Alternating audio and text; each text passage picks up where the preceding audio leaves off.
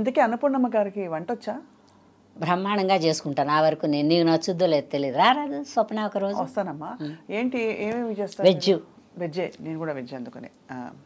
వెజిటేరియనే. Non veg కూడా తింటాను కానీ ఒక పదేళ్ళు అయిందిగా ఎప్పుడైనా ఒకసారి అలాగా. సార్ తినరుగా? ఎల్లుల్లిపై కూడా తినడు ఆయన. తినరు. చెప్పాగా నేను. అదే అదే అందుకని. మనకేం ఖర్చు లేదు. అంత పప్పు వండి పడేస్తే అంత పప్పు వండి పడేస్తే ఇప్పుడు అసలు పళ్ళు కూడా కదిలిపోయి ఉంటాయి కాబట్టి ఆ పప్పుతోనో మజ్జిగతోనో పెరుగుతోనో. అట్లా. ఒక పూట. ఒక్క పూట తింటారా? ఒక్క పూట పోసిన పెద్ద ఇబ్బంది లేదు. పైగా సాధ్యమైనంత వరకు ఆశ్రమాలకు వెళ్ళిపోతుంటాడు ఆయన. కొన్ని ఎడబాట్లు జీవితంలో అలా మిగిలిపోతాయి. ఇప్పుడు వయసు ఎడబాటు అప్పుడు బిజీ. కాదు మిమ్మల్ని మీరు ఉండరు కదా షూటింగ్లోకి వెళ్ళిపోతారు బాగా మిస్ అయి ఉంటారు మిమ్మల్ని.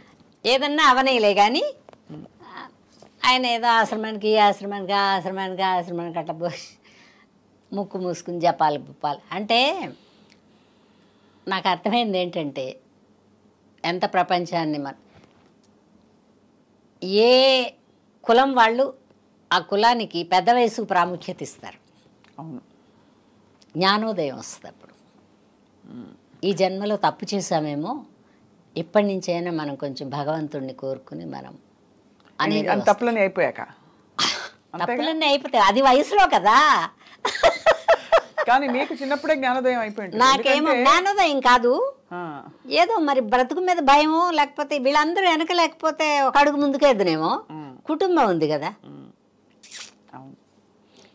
కుటుంబం ఉండేటప్పుడు మనం ఎన్ని సరదాలైనా ఒక అడుగు వెనక్కే ఉంచుకోవాలి. సినిమా ఇండస్ట్రీలోకి మీరు రాకముందు పెళ్ళి అయిపోయింది. వచ్చాక ఏదో టైంలో అనిపించుంటుంది కదా అయ్యో పెళ్ళి చేసుకోలేదు అనిపించలేదు. ఎందుకంటే ఇబ్బందికరమైన వాడైతే అనిపిస్తుంది. మంచివారు కదా చాలా. మంచివాడు పాపం. సార్ పేరేంటమ్మా? నరసింహం. నరసింహం గారు ఉమామహేశ్వరి గారు. మంచివాడు.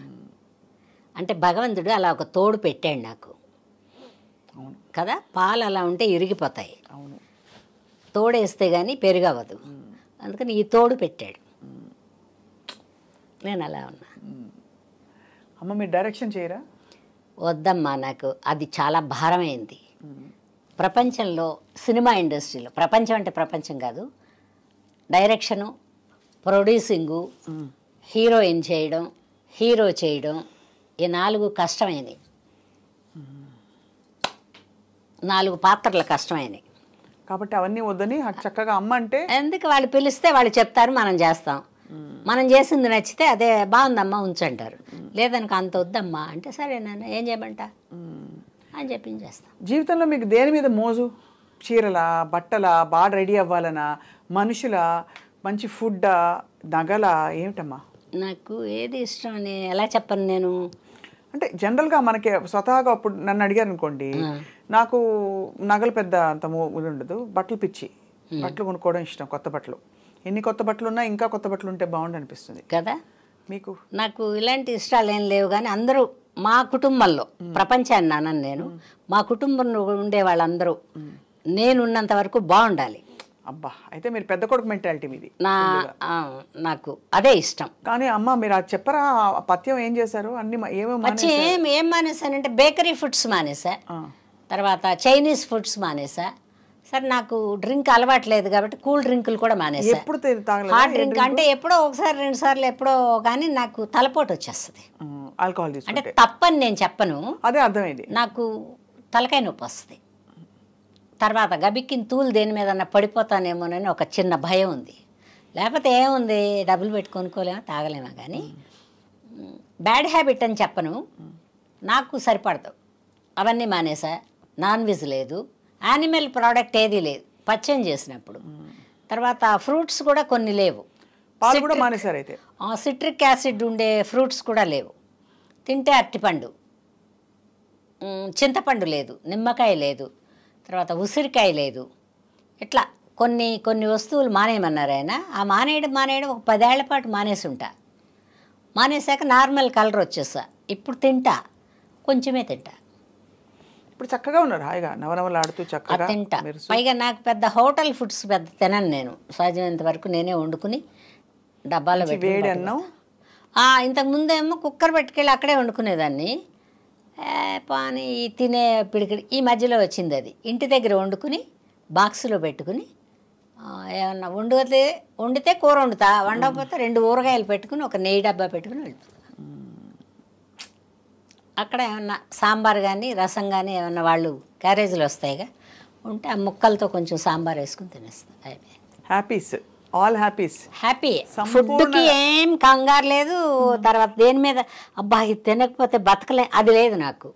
ఉంటే తింటా లేకపోతే లేదు. పైగా అది ఇదేమైనా జబ్బు చేస్తుంది అనుకుంటే పోస్ట్పోన్మెంట్ వేస్తాను దానికి. నేను ఇంకోసారి తింటా అని దానికి చెప్తా. ఆ ఐటెంకి చెప్తా. అంతే. ఇంకోసారి తింటాను ఫీల్ అవ్వద్దని. బాగున్నావు కానీ ఇంకోసారి తింటా అని. కాదంటే అది మనకు మనం చెప్పుకోవడం అంతే కదమ్మా అంతే అంతే. జబ్బు చేస్తుంది అనుకుంటే తినండిరా. ఎందుకంటే ఇది తినే వయసు కూడా కాదు. అందుకని పరిగెత్తే వయసులో దాక్కుని వేషాలు వేసా దాక్కుని మీనింగ్ అదే. పెద్ద రోడ్డు మీదకి అలా రాకుండా. ఒక మిడిల్ వయసు వచ్చిన తర్వాత దాక్కోవాల్సిన అవసరం లేదు కానీ వెళ్ళలేము. ఇంట్లో ఏవో ఒక బాధ్యతలు పనులు అట్లా ఉన్నాయి.